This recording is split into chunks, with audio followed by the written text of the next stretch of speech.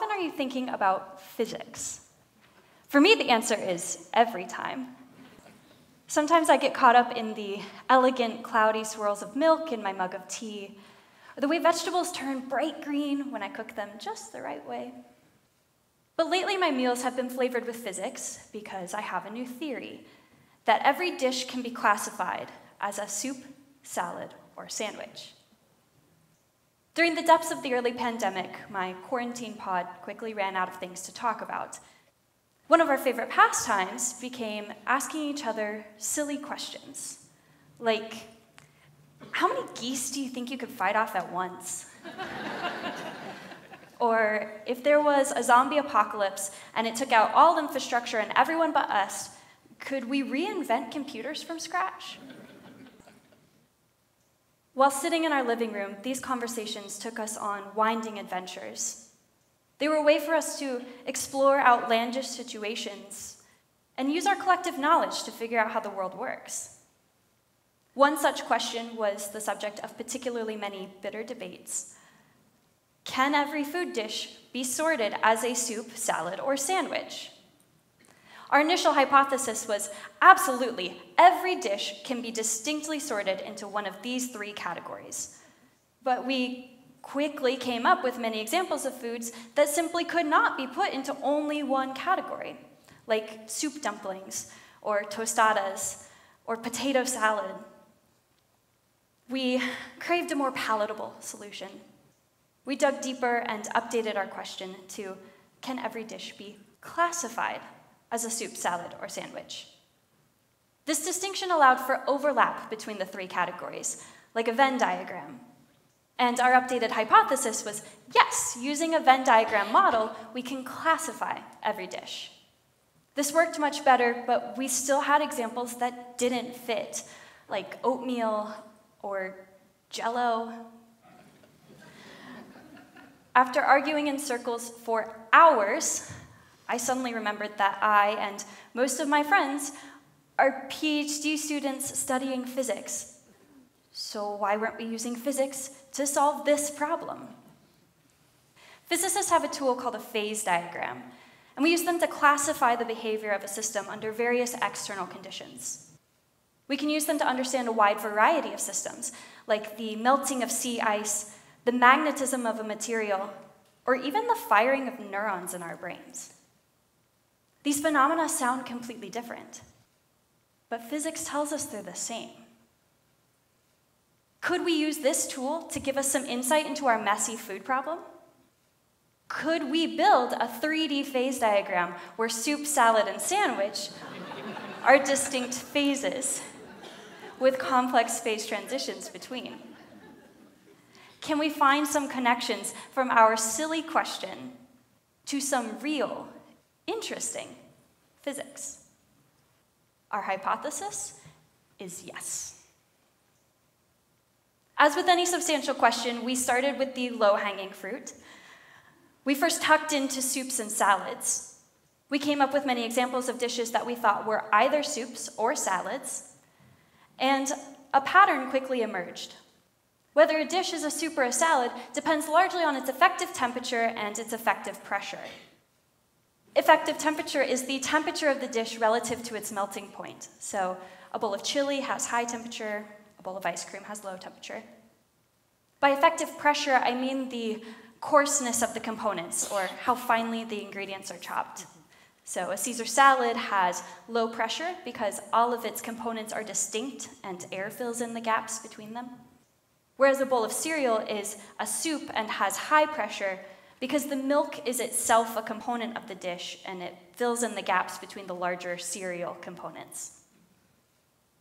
You may be wondering how we knew that temperature and pressure are the right way to describe soups and salads. Well, it's because we had recognized that the phase diagram we sketched is related to the phase diagram for water. In this case, salads correspond to the gaseous phase of water and soups to liquid water. We also know that water has a solid phase, which we call ice. Usually, solids have perfect crystalline structure, but some materials have solid like phases, where the atoms are frozen in place but not in a perfect grid. These phases are called glasses. Yes, like the glass in your windows or in your drinking glass. And we found that some dishes fall into the category of glassy soups, such as ice cream. These are dishes that are solid, but only because they are served at a temperature below their melting point. So they aren't true solids, but rather solid like glasses. It's great news that the soup salad phase plane is related to the phase diagram for water, because physicists have thoroughly studied some of water's more bizarre behaviors as well. For example, this is the critical point, and it's the termination of the line separating liquid from gas. Past this point, we say that the fluid is supercritical, meaning it can transition between phases without the need for evaporation or condensation. In this region, is the fluid a liquid or a gas? Well, it's both. Here's a video of some carbon dioxide in the chamber. Carbon dioxide also has a phase diagram very similar to water's. That line separating the liquid CO2 from the gaseous CO2 is called the meniscus. And if the temperature and pressure are tuned correctly, in other words, if we navigate to the supercritical regime, then that meniscus suddenly disappears. The CO2 is literally neither a liquid nor a gas, but it is also somehow both. Ambiguous and unsatisfying, I know, but reality, nonetheless. Because we knew that CO2 and water have this supercritical regime, we knew that we should also forage for some supercritical soup salad transitions as well.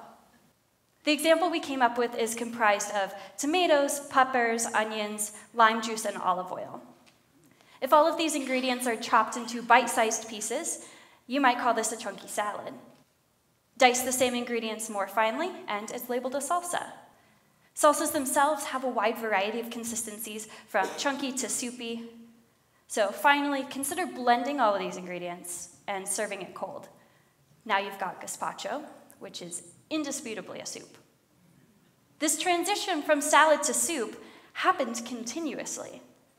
At no point were we able to decide when the salsa stopped being a salad and started being a soup. Salsa is a supercritical food.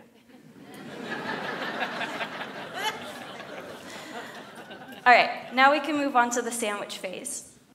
In addition to temperature and pressure, we need something different and more creative to describe sandwichness.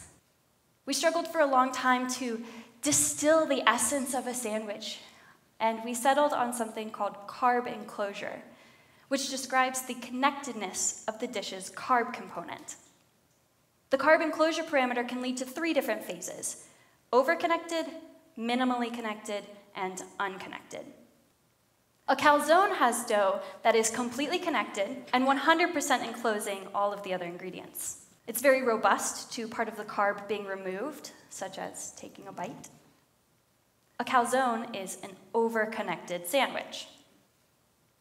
Pizza also has a fully connected carb, but its carb enclosure is closer to 50%.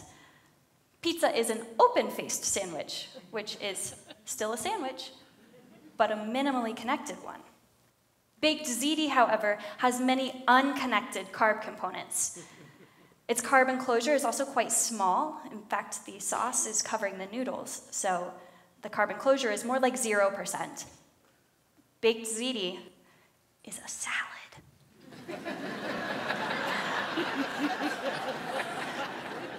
or a soup if you're saucy. This method of sandwich classification leaves some ambiguities, and these are situations that are ripe for an experimental probe. The experimental question to be answered is as follows Can you pick it up by the carb and eat it? If yes, the dish is a sandwich. This parameter works well to describe sandwichness because connectedness is another important concept in physics.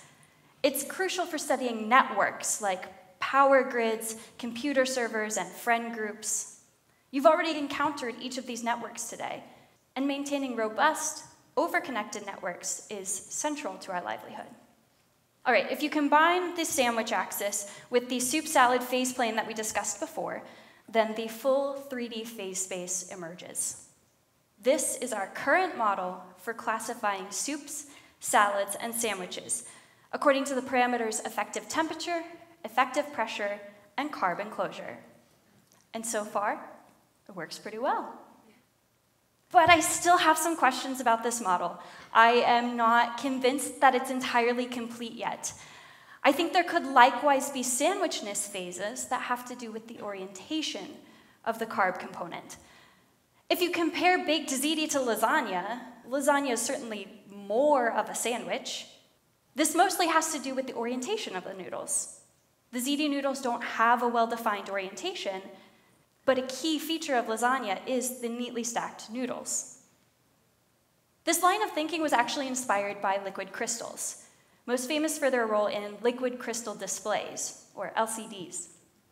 Liquid crystals have very interesting phases that are defined by their relative orientations. By tuning the concentration of the crystals and the magnetic field applied to them, liquid crystals can take on several different orientational phases. The difference between this yellow and orange phase could determine if a dish is a sandwich. And this red twisted phase is what controls the colors of light coming from your LCD screens. This is just a taste of how our model could improve and the types of things we, culinary statistical mechanicians, can still learn from the broad field of physics. No meal is complete without dessert, so I'd like to leave you with one final example of some weird statistical mechanics behavior coexistence. If the conditions are just right, then multiple phases can coexist in harmony. May I present to you the pinnacle of ambiguous deliciousness the ice cream sundae in a waffle cone bowl. This dish has got ice cream, a glassy soup, hot fudge, a soup, sprinkles and candy, those are salad components, all contained in a waffle cone bowl, a carb that you could technically pick it up by and eat it. This dish sits at the quadruple points of our phase space and proves that the sweetest moments are found in this region of coexistence. No matter which way you slice it, Every dish can be classified as a soup, salad, or sandwich. Maybe you've found a counterexample, or you've disagreed with some of my classifications, and that's excellent. As with any scientific model, this one will continue to morph and improve as it is challenged and questioned. The world is full of silly questions, just waiting to be asked and surprisingly nuanced answers, just waiting to be savored. I hope I've left you hungry for both.